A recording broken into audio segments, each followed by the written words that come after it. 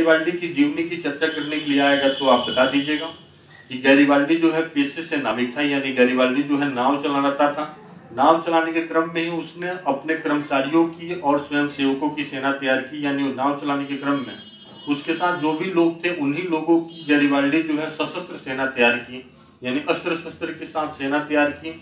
और सेना तैयार करने के बाद से इटली के दो बड़े प्रांत सिसली और नेपल्स पर गैरिवाल्डी जो है आक्रमण कर दिया। यानी दक्षिण इटली के भागों पर गैरिवाल्डी जो है आक्रमण कर दिया और आक्रमण करने के बाद से गैरीवाल्डी जो है दक्षिण इटली के भागों को जीत भी लिया।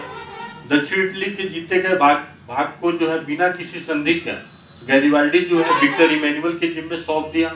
विक्टर इमेनुअल जो है गैरिवाल्डी को जो है वहाँ का राजा बनने का प्रस्ताव दिया। या आप दक्षिण इटली का राजा बन दिए लेकिन गैरीवाल्डी जो है दक्षिण इटली का राजा बनने के प्रस्ताव को भी ठुकरा दिया। और गैरिबाल्डी जो है, और जो भी अपनी संपत्ति जीता हुआ था, सारी संपत्ति को अपने देश के नाम समर्पित कर दिया और एक मामूली किसान की तरह गैरिबाल्डी जो है, अपना जीवन जो है बिताने लगा।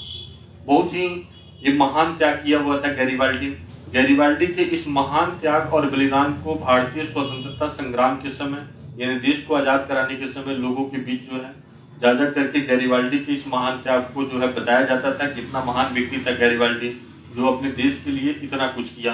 लाला लाजपत राय जो है गैरिवाल्डी की जीवनी को लिखे हुए थे। ज़रूर ये क्वेश्चन ऑब्जेक्टिव में पूछता है कि गैरिवाल्डी के जीवनी को किसने लिखा हुआ था तो लाला लाजपत राय ने। तो इस तरह से गैरिवाल्डी के कार्यों की चर्चा करने के लिए आता है तो आप निश्चित रूप से इस क्वेश्चन को जो है आप लिख लीजिएगा। एक या दो बार वीडियो देखिएगा तो ज़रूर ये क्वेश्चन तैयार हो जाएगा। दोस्तों, आपको काम हमारा पसंद आता है तो आप हमारे चैनल को निश्चित रूप से सब्सक्राइब करें। दूसरे विद्यार्थियों के पास शेयर करें कमेंट करें लाइक करें। बहुत बहुत धन्यवाद दोस्तों।